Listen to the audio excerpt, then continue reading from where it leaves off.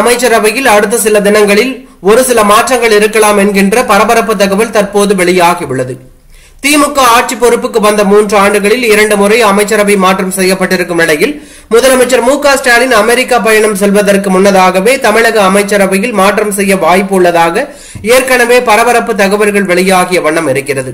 குறிப்பாக அமைச்சர் உதயநிதி ஸ்டாலினுக்கு துணை முதலமைச்சர் பதவி கொடுக்க வேண்டும் என்ற கோரிக்கை வலுத்து வரும் நிலையில் அது படுப்பதற்கு உண்டான நேரம் நெருங்கிவிட்டதாக திமுகவின் நெருங்கிய வட்டாரத்திலிருந்து பரபரப்பு தகவல் வெளியாகியுள்ளது. வருகின்ற இருபத்தி மூன்றாம் தேதி தமிழக அமைச்சரவை மாற்றப்படலாம் என்றும் இந்த அமைச்சரவையில் உதயநிதி ஸ்டாலினுக்கு துணை முதலமைச்சர் பதவி வழங்க அதிக வாய்ப்பு உள்ளதாகவும் வெளியான அந்த தகவல் தெரிவிக்கிறது. மேலும் தற்போது இருக்கக்கூடிய அமைச்சர்கள் சிலர் பதவியிலிருந்து நீக்கப்பட உள்ளதாகவும் ஏற்கனவே அமைச்சராக இருந்து நீக்கப்பட்ட ஒருவருக்கு அமைச்சரவையில் மீண்டும் வாய்ப்பு அளிக்க உள்ளதாகவும் வெளியான அந்த தகவல் தெரிவிக்கின்றன.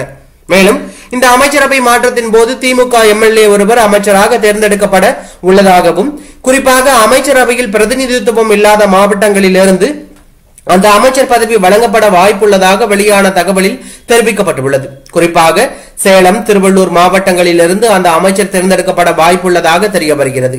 ஐஏஎஸ் அதிகாரிகளின் மாற்றத்தை தொடர்ந்து தற்போது இந்த அமைச்சரவை மாற்றமும் அதிரடியாக இருக்கும் என்று வெளியான அந்த தகவலில் தெரிவிக்கப்பட்டுள்ளது. பரபரப்பை ஏற்படுத்தியுள்ளது.